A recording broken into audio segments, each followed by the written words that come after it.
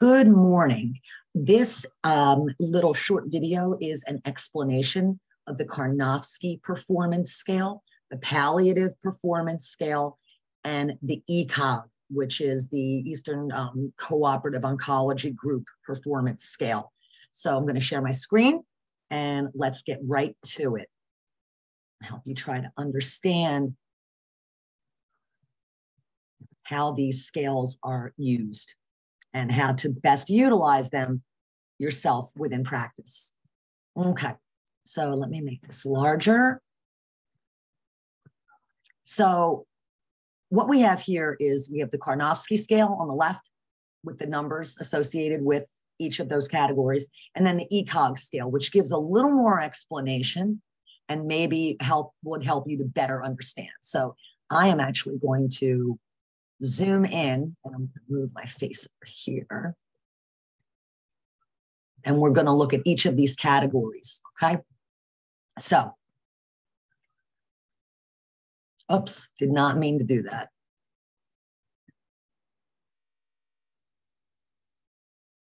Okay.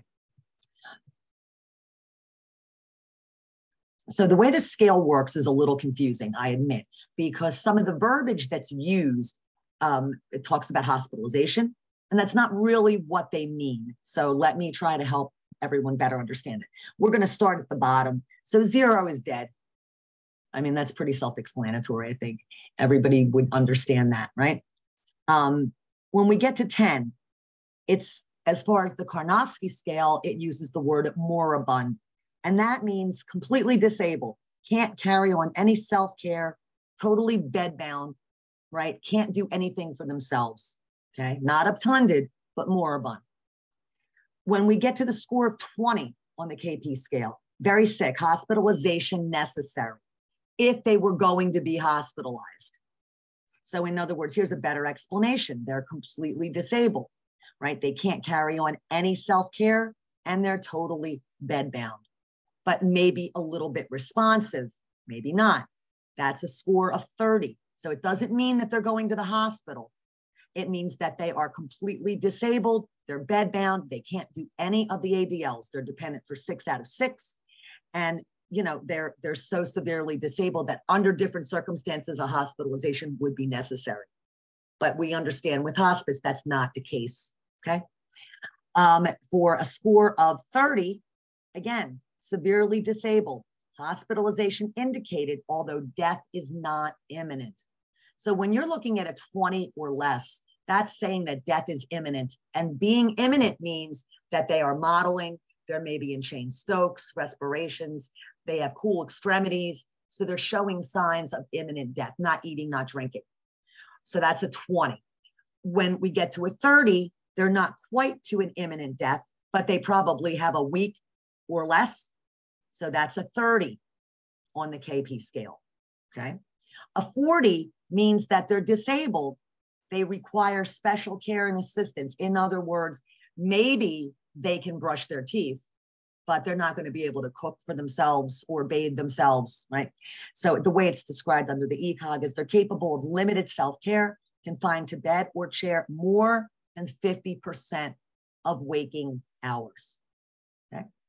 When we get up to a 50, that means that they can perform limited self care and they're confined to a better chair just more than 50% of waking hours. If it's 75% of waking hours or 100%, they're confined, then they are lower than that. And then as we get to the higher numbers, obviously, when we're talking about hospice, you know, if they're a 100, that means that they are like I am. They're fully active. They can perform self care. There are no limitations, right? A 90 means eh, there may be minor signs of, of disease or illness. Um, maybe they can still go to work, but like duty, right? And 80, again, they're restricted to physical um, strenuous activity they can't do, but maybe they can get up and walk. They're not going to run, right? Um, they can do maybe light housework. Maybe, you know, they can sit in front of a desk and do computer work. A 70 means they can still care for themselves but they are unable to carry on normal activities. So, in other words, what we can do. Um, and the way the ECOG explains it is they're ambulatory, capable of self care, but unable to carry out work activities. and they are up and about more than 50% of waking hours. So when we hit that 60, that means that they are, you know, once they get to 60%, they need occasional assistance, but once they get to 50, it's considerable. 40 is even more. 50% of their waking hours are in bed or chair or both, and down from there. So use the ECOG as it relates to the KP to kind of help you determine and uh, be a little more objective. Um, there is so much subjectivity when it comes to some of these scales, and, and there should not be. Um, there are lots of articles in the National Institute of Health that are peer reviewed research articles that further explain what I've just explained. But understand that the Karnofsky scale was originated in 1947 or 49. Um, I'd have to look it up. I'm not sure exactly which one, but one of those before 1950. And it it could use a little tweaking. So that's why they came up with the ECOG to kind of help take the two, put them next to each other and say, oh, okay, I see where they, when I look at my patient, here's what they can or cannot do. And then I can more objectively come up with a score. So I hope this helps. I'm going to do one on other scales like the FAST scale and the New York Heart. That'll be next. Talk to you soon. Bye. Please sign the sign in sheet.